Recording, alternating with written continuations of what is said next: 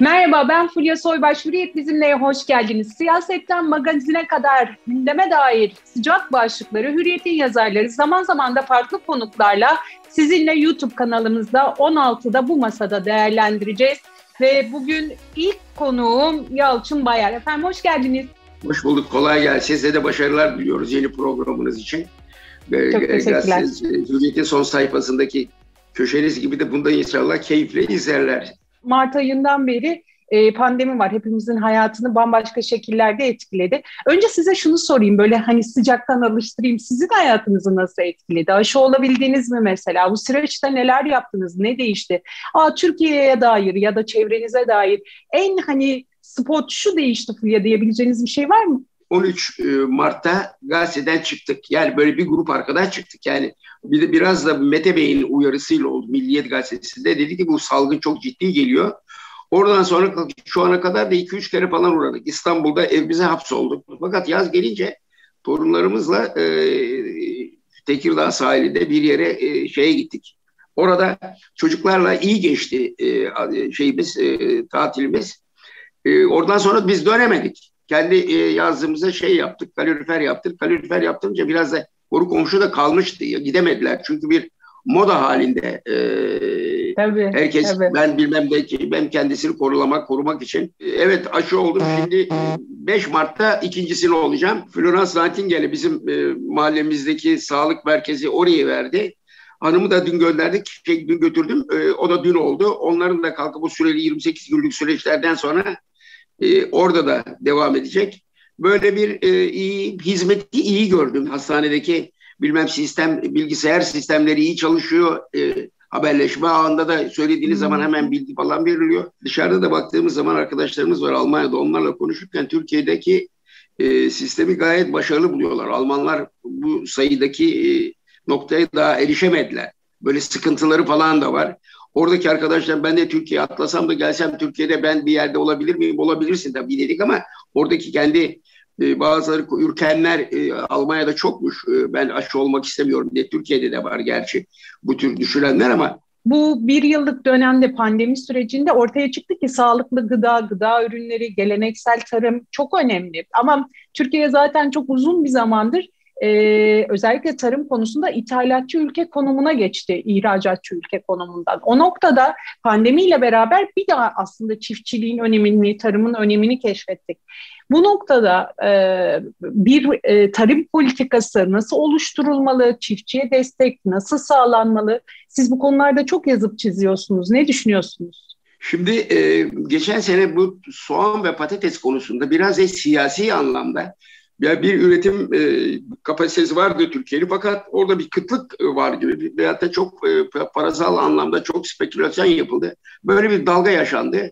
Bu seneki şeyde ben öyle bir kıtlık falan da görmedik. Veriler şeyi gösteriyor. Türkiye kendi kendine yeten bir ülke iken nasıl bu ünvanını kaybetti diye çok tartışma konusudur. Ee, hakikaten bankalara borçlar atmış 41 milyon hektar arazilerimiz 37 milyona düşmüş. E, borçlar hakikaten çok e, belirli çok büyüktü çiftçimizin. Neden e, buğday ithal ediyoruz? Veya da ayçiçek yağı nereye gidiyor? Mazot e, fiyatlarının da çiftçiyi çok mağdur ettiğini biliyoruz. E, iktidar da diyor ki son bir yılda gübre fiyatlarında uluslararası piyasalarda yaklaşık yüzde yüz oranda artması nedeniyle destek artışı yaptık diyor ama o destekler doğruları şey yapmıyor. E, tarım uzmanlarının şey yaptıkları göre, belirttiklerine göre. Yani geçen sene 1650 liradan alırken şimdi 3000 liraya kadar çıkması çok vahim bir şeydir. Bunlar çiftçinin belini bükmüş bir manzaradır ve bu e, fiyatları da hakikaten e, artan fiyatlar karşısında da ürün yapabilme şansı da yetersiz kaldığı da e, açıkça görülüyor. Yani Cumhurbaşkanı'ndan artık ne gitsin diye devlet de nereye ne yardım yapacak? Her bir sektör bir katkı peşinde. Yine verilere bakarsak dünya sebze üretiminde bizim dördüncü, meyvede de beşinci olmamıza rağmen belirli bir sıkıntılar ve fiyat dengesi ayarlanmamış halde görüyoruz. Bir yerde de bakıyorum bu şeylere marketler olmayınca oralara meyve sebze de gelmeyecek. O mahalle aralarındaki bakkalların başka işlevsel görevi vardır da burada bunları kalkıp buraya getirmek ve bunlarla bilmem dağıtım halkın girmesini sağlaması da önemli bir unsur olarak görüyorum. Ben bir de tabii aracılar var. Aracıların çok vurgun yaptıklarını düşünüyoruz. Yani 1 liraya mal olan şeyi buralarda da 6-7 liraya kadar e, satıyoruz. Satıldığını görüyoruz. O elma olsun, e, diğer sebze meyve olsun. Orada e, gerçekten böyle bir o fiyat dengesini belediyeler iktidarlar hallerin yapısını tam oluşturamadılar Türkiye'de. Tamamen vurgun üzerine e, bir yapı geliştiği için bunları yapmış olsalar insanlar daha e, şeyli e, bu ürünleri daha hazır ve kolaylıkla alacaklar ve daha ucuz da yiyecekler. Böyle bir aksaklık yaşanıyor şeyde e, Türkiye'de halledemedik bunları. Siz az önce çok doğru ve çok da aslında net ifadelerle söylediniz. Yani e, şimdi tarlada başka, şehirde başka fiyat. Yani iki taraf arasındaki makas çok açık. Yani üretici e, 50 kuruşa, 1 liraya üretirken e, bugün İstanbul'da, Ankara'da büyük şehirlerde özellikle pazara geldiğinizde aynı malı 7-8 liradan yiyorsunuz. Bir de şimdi diyorlar ki bu aracı mevzuunda e, dolar bu kadar oldu e, biz dolar üzerinden bunları fiyatlandırdık. E, peki bugün dolar düştü, hala da düşmekte ama sebze meyve ucuzlamamakta. Bunu nasıl yorumlayacaksınız? Yani bu pahalılık tablosundan çok e, kimse memnun değil ama bu konuda da çok e, üretici bir şeydir. Hidayet Bilgiç Bey, Gazi Paşa'dan o yazı yazan çok enteresan bir şeydir, görüştür. E, orada yani sebze meyvede bir ucuzluğu kimse hayal etmesin. O dediğimiz aradaki borsalarda e, hallerdeki olan bilmem fiyat artışlarından başka bana çok sert bir yazı yazmış. Yani burada diyor fide ekimi fidelerle sulama gereken elektrik, zirai ilaç ve gübre fiyatlarında düşüş oldu mu ki diyor şey yapacağız. E, böyle ucuzluk bekleyeceğiz. Bu sert kış günlerinde ürünlerimizi dondan korumak için seralarımızı ısıtmamız gerekir. Yakıt olarak kullanılan mazot, fuel, doğalgaz ve kömür fiyatlarında indirim oldu mu ki şey yapacağız, ucuzluk getireceğiz? Hayır diyor. Sebze üretimini yaptıktan sonra ürünlerimizin toptancı hallerine götürüyoruz. Orada oraya götürürken nakliye hallerin çiftçilerden aldığı vergiler, paketleme giderleri devletin hallerden aldığı vergilerle indirim oldu mu diyor. Hayır diyor. Yani böyle uzun bir liste vermiş. Hakikaten Bayağı çok şey, kalem var. Evet. Metropollerdeki e, hallerde uygulanan bir vergi indirimi veya teşvik oldu mu ki? Tabii ki hayır, hayır, hayır diye söylüyor. Tabii bu dövizin etkisinin de e, olmayacağı çok açık. E, Rusya pazarı da oynak bir pazar haline geldi. İnsanların salata veya domates üretip de sattıklarından sonra ilaç konusundaki ilaçlı bunlar deyip Rusya'nın iade etmesi de rekabetinden ötürü e, bunları zaman zaman geliyor. Bunların çok iyi üretici kesimi tarafından çok iyi veya haller tarafından veya ihracatçılar tarafından çok ciddi şey yapılması e, kontrol edilmesi lazım. Rusya'da artık Türkiye'den ben domates, e, biber bilmem salatalık alacağıma kendi iç e, şeyinde bölgesinde Sırbistan tarafına da bir tarım güzel bir tarım topraklarında gitti büyük seralar kurdu. Demir, e, çelik seralar. O Avrupa'ya da çok kendi ihtiyacını da karşılıyor. Yeraltı sularını çok fazla israf etmeden e, kullanmamız gerekiyor yeraltı suları deyince biz Trakya'dan e, çok e, ben üzgünüm. Trakya yeraltı suları bugün 300-400 metreye kadar inmiş vaziyette. Bu kuraklıkta da çok sıkıntıları çekildi. Maalesef İstranca'nın e, işte kar yağdığı zaman belli bir kaynaklar oluşuyor. O kaynaklardan zaten e, büyük bölümüne büyük bölümüne İstanbul Büyükşehir e, sulanıyor. Hepsini oradan yer altından çekip suları göletler e, vasıtasıyla burada bizim Terkos'a çekiyorlar. Terkos'a Terkozan da kalkıp e, ikinci e, işte şehire dağıtıma falan yapılıyor. Ama bu yeraltı sularıyla böyle bir kaynak israfına gitmemiz bizim için e, geleceğimiz için çok kötü. Aslında başka bir de bir durum var Trakya'da. E, orada ne yazık ki büyük tekstil sektörü çok gelişti. Tekstil sektörü gelişince özellikle yıkama sektörü bunları o çektikleri sularla bu ip, şeyleri, iplikleri falan yıkıyorlar, atıyorlar tekrar yeraltı sularına atıyorlar yeraltı suları bu haznelerde falan oluştukları için çok tehlikeli gelecek için kimyasal e, şeyler e, oluşturdukları için çok bir rahat e, bir şey olmayacak. E, iyi bir sağlıklı bir toprak veyahut da şey bırakmayacağız. Kuraklığa karşı bir öneriniz var mı acil önlem planı açısından? Ne olmalı ve nasıl olmalı? Kanal İstanbul'a karşıyım. Orada o alan e, yaratılırken kömür çıkartılan havzalar e, çok önemli bir nokta değildi. Onlar o zaman kömür çıkarttık. Hakikaten Fransızların büyük katkıları olmuş. E, Dekovillerle Sarıyerlere kadar bu kömürü getirmişler. İstanbul hakikaten Trakya'nın yakacak şeyini yapan e, önemli bir kaynak teşkil etmiş. O kömür çıkartılan bölgeler çünkü ben de bu, bu işler havalanı falan yapılırken gittik oralarda çok da inceledim de. O büyük e, yeraltı çukurları bugün Terkos'dan daha büyük alanları hiçbir şey yapıyordu, oluşturuyordu. Ne yazık ki bunları kimse dinlemedi. Orada kalkıp şey yapsaydı, yeraltı e, şeyleri, kaynakları oluş, oluşmuş olsaydı, e, onları bilmem saklasaydık, korusaydık falan, bugün ikinci Terkos gibi bir e, alan yaratmış olacaktık ama bunlar hiç düşürülmedi. Bunların hesabı da yapılmadı. Çok e, şey gittik, e, biraz çok fazla israf eder ve lüzumsuz harcadık şeylerimizi, kaynaklarımızı. Öyle görüyorum ben. Geçen sene bu vakitler bölgemize giderken çekmece olsun, büyük küçük çekmece olsun, büyük çekmece olsun. O barajlardaki su seviyesi çok yüksekti. Köprünün altına kadar geliyordu göllerden şeye giderken Tem'den. Şimdi kalkıp böyle bir şey göre böyle bir verimli e, alan falan göremiyoruz. Çok e, çekildi sular. Çok da kurudu. Şimdi oralarda bu sunun e, o zamanlar yüzde yetmiş seviyesindeydi bu geçen sene bu vakitler. Şimdi yeni kuraklıkla birlikte e, yer altına bazı o doyum sağladı toprakta biraz. Oradan siz şimdi burada bu yüzde bakıyorum 52, 52, 53 mertebesinde. Hiç iyi değildir. Çok herkesin e, bol su falan var diye kar yağdı bir sevindik falan diye şey yapma. İyi de kar yağar bir de iyi ki şey yoktu. Lodos vardı. Bir de e, e, şey Poyraz vardı. Lodos olsa Lodos bir anda karı böyle alır götürür. Biraz birkaç gün böyle bir onlar unutuldu böyle toprak biraz çekti şeyi karın şeyini sularını. O yüzden çok e, şeyli olmamız lazım biz. Böyle bilmem bizim barajlar doldu boldu falan diye öyle bir şey yapmak gibi bir şeyimiz yok. Bir de yeni bir proje ortaya atıldı. Yeraltı e, barajları, yeraltı su kaynakları diye yer altında büyük Havzeler Hoca mesela Silivri tarafında da vardır. Doğal gaz vardır mesela. Orada yer altında topluyor. Bizimkiler topluyorlar. İhracat şeyden e, yurt dışından aldıkları zaman Cezayir e, doğal gazının belli bir bölümünü yer altında tutarsın. Kalkıp böyle de değil. Hatta bir şeyde de bile var. E, Van Gölü'nün e, Beşi Tuz Gölü'nde var. Tuz Gölü'nün altında da bu hazineleri şimdiden yapılması lazım bunların. Yer altından nereye biriktireceğiz? Hangi çataklar varsa onun üzerine şey yapacağız, e, kapatacağız. Böyle bir şey yapılması lazım çünkü bir yerde yazında buharlamadan, e, buharlaşmadan ötürü bunlar uçup gidiyor. Bunlar için bazıları bilmem efendim bir naylonlu toplular koyuyorlar ki buharlaşmasın. Böyle bilmem yaratıcı fikirler var. Bunlar üzerinde e, diliyorum ki şey yapsın. Herkesin düşünmesi de lazım bunları. Burada ter, şey İstanbul'da ne yapacağız? İstanbul çok kötü vaziyette. İstanbul bu şey e, bu kadar milyon şey nüfusu karşılayamaz.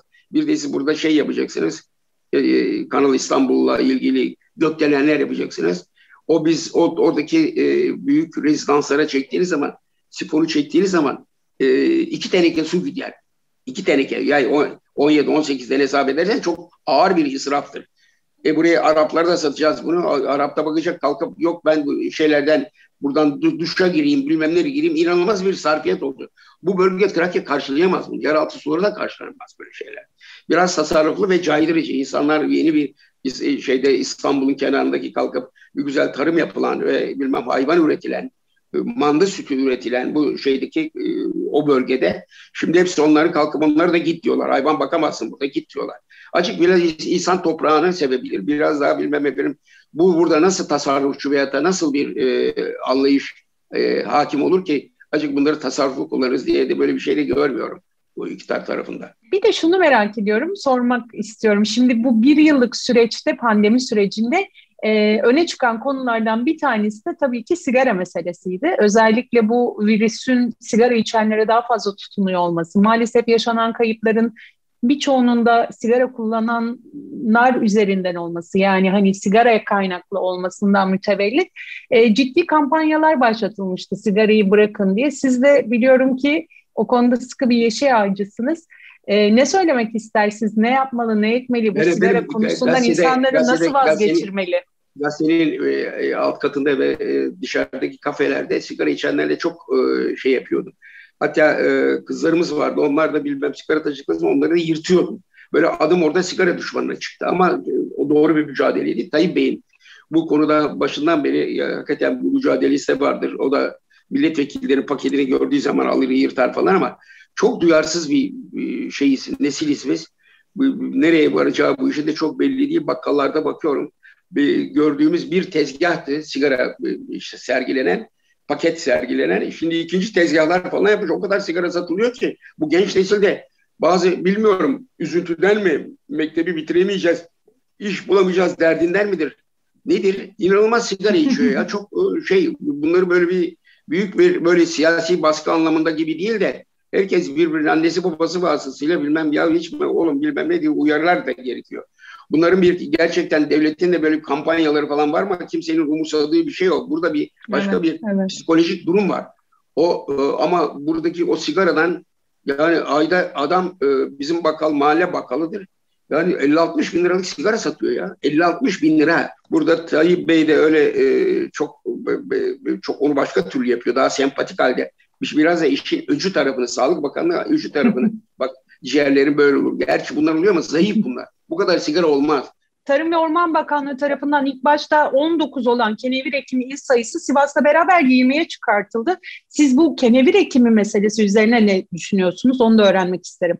Bizimkiler de şimdi kenevir çok zengin olacakmış gibi bir çiftçide de çok merak bir kenevir konusunda. Şimdi sabahleyin e, bu yazı üzerine e, Bulgaristan'la ilgisi olan bir e, dostumuz aradı. E, dedi ki Bulgaristan'da ben şaşırıyorum. Biz e, burada daha Türkiye'de derli toplu hale getiremedik. Bütün Bulgaristan'ın bu Karadeniz tarafı, Varna, Pazarcık, e, Burgaz tarafında ya büyük e, şey ekimi başlamış. E, kenevir ekimi. Kenevir ekiminin de bilmem çok da fiyat bulur halde. E, Türkiye'de de yavaş yavaş bunlar yapılıyor ama bunlar çok disipline edilmiş de değil. Devlet üretme çiftliklerine de girilmesi lazım. Öyle bir takım teşebbüsler de oldu. Ama şunu oturtamadık biz. Çok sağlıklı bir şey. Bunun tohumu da çok sağlıklı. Bunları sabahları e, bunları alıp havanda e, tohumunu övüp e, salatanıza, cacığınıza falan koyduğunuz zaman çok e, verimli olur ve sağlık içinde çok önemli e, bir yararı olduğunu tıpçılar da bütün dünyada biliyor. Ordu, e, Samsun, Amasya o tür yörelerden şeye kadar Ege'de pek yoktu. Sivaslılar da kalktı hakikaten lobisini yaparak kendi ekim izni aldılar. Herkes ekiyor falan ama böyle bir disipline edilmiş ve planlı programlı bir şeydi. Herkes bizim ilimizde ekilsin. Kim ekilsin diyor bunu milletvekili söylüyor. Ama böyle bir heyet oradaki ziraat odaları veya da ziraat e, sivil toplum örgütleri tarımla ilgili onların böyle bir hareketi yapıp böyle tam rakamlarla falan verilmiş hali yok. Ertuğrul Bey dün şarap konusunda çok güzel şeyler söyledi. E, yani burada e, ya bu propaganda falan değil, üretim gücü itibariyle söylüyorum. Evet. Trakya'da 4-5 yıldan beri inanılmaz e, şeyde e, üzüm bağları başladı ve ihracat yapan firmalar. E, önünü evet. açmak lazım dedi. O kadar ki orada gördüğüm şeyi ben şaşırdım kaldım. Siz dedim nereden bu kadar bak yatırım yapmışsınız? Hatta kızlar, kızları bile 2-3-4 kişi Paris'te şarapçılık eğitimi aldırtmışlar. Onlar e, öyle oldu ki bu orada o kadar şirin yata, şeyler de oteller de kurmuşlar. Hafta sonu tatil bölgeleri gibi olmuş o bildiğimiz buğday ve ayçiçek tarlalarında. Gerçi çok akıllıca şey yapan e, örnekler falan öğrenmişler. Siz ne yapıyorsunuz dedim. Siz ne diyorsunuz dedi Yalçın Bey ya ben dedi İtalyan şarapçılarla bir şey yapıyorum dedi. Yarışıyorum. Nasıl yarışıyorsun? İhracat yapıyorum dedi. Oradaki bilmem e, Türkiye'den de şimdi herkes keşfediyor. Ertuğrul Bey'in çok farklı olarak hep onu söyler. Türkiye'de farklı bölgelerle çok güzel şaraplar yapılmaya başlandı. Böyle bir kapasite var. Yani bunların dikkate alınması lazım. Çok baskıcı veyahut da bilmem caydırıcı da olmaması lazım. Emin olun bir gün sizi götüreyim Marmara Eğrisi'nden şeye kadar tam Müretten'in şey, Şarköy'e kadar o alan dünyanın en önemli e, şey bölgesi. E, şarap üretim bölgeleri. Neden mi? Buradan kuzeyden rüzgar geliyor. Marmara şey Marmara e, denizinde de hı hı. yumuşak ilimle inanılmaz bir lezzet ve tat yapıyor. O yüzden e, biz küçükken bizim e, şeylerde gayrimüslim e, aileler falan kendi şarapları kendileri yapardı şeyler. Dışarıda pazara da indirirlerdi. Hadi padişah bile Abdülhamit bile e, şeydeki Marmara Elisi'nin arkasında bir köy var. Oradaki be, beylere vermiş şeylerini, bunların izinlerini. Onlar bilmem saraya şarap oradan gidiyor mesela. Bunların da e, devlet erkanı tarafından anlayışla karşılanması lazım. Tamamen ticaret anlamında söylüyorum. İhracat anlamında kalkıp çok büyük katkı sağlayacağını tahmin ediyorum. Yani Ertuğrul Bey bunu çok e, önceden gördü. Ona da teşekkür ediyoruz bu vesileyle. Sizi hazır yakalamışken Avrupa Birliği konusunda da çok e, yetkin e, nokta atışı tahminleriniz oluyor. Şimdi 23 Mart'ta yeniden bir Avrupa Birliği zirvesi var. Onu da sormadan geçmek istemiyorum. Bu sefer sizce bir Türkiye bir sonuç alabilir mi? Yoksa biz Avrupa'dan savrulalı çok uzun zaman mı oldu? Ne düşünüyorsunuz? Bu imtiyazlı ortaklık Türkiye ile nasıl olabilir? Bazıları bunları kabul ediyor, bazıları kabul etmiyor. e, iki tane bilmem efendim hakikaten Avrupa'yı bilen bir tane Faruk Şen zaten uzun yıllar Avrupa'da şey Almanya'da Türk Araştırmalar Merkezi direktörü olarak bulundu. Bülent Akarcalı da e, İsviçre'de uzun yıllar e, akademisyen olarak kaldı. Sonra geldi burada milletvekili oldu. Hı hı. Özdal döneminde. Sonra e, Çankaya Belediye Başkanı oldu Tayyip döneminde. Böyle bir böyle bir şey içerisinde, bir sıkışıklık içerisinde valla neler konuşacak pek de e, eskisi gibi Fulya çok dikkat çekici bir şey. Eskiden e, muhabirlerimiz çoktu şeylerde. Hürriyet'in Avrupa'sında evet. çok biraz zayıfladı. Orada inanılmaz e, bilgili çocuklarımız vardı bizim. Bilmem benim kalkıp sivil toplum örgütleriyle iç içeydiler. Yeni bilmem bir ziyaretler oluyordu. Kalkıyordu bu bir ok ayağın kesilmesi ben biraz çok şey görüyorum bunu. Ee, evet. Türkiye'nin aleyhine. Evet. Çünkü toplumu bir şey bilmiyor, bir şey öğrenmiyor. Oralardaki adamlarımız kalmadı. Önümüzdeki e, günlerde Bulgaristan'da da Mart ayında seçim olacak.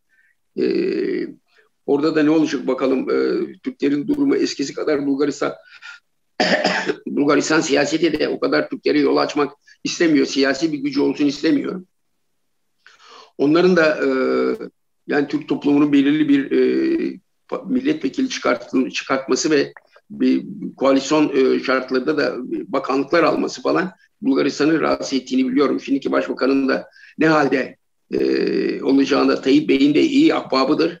O yüzden şey e, böyle bir sıkıntı var ama anlatacak çok şey var. Tamam onları da inşallah bir dahaki programa konuşalım. Yine beraber inşallah, olalım. Inşallah. Tekrar teşekkür ediyorum yayınımıza katıldığınız için. Yarın bir başka yazarımızla farklı bir gündemle yeniden sizlerle olacağız. Şimdilik hoşçakalın.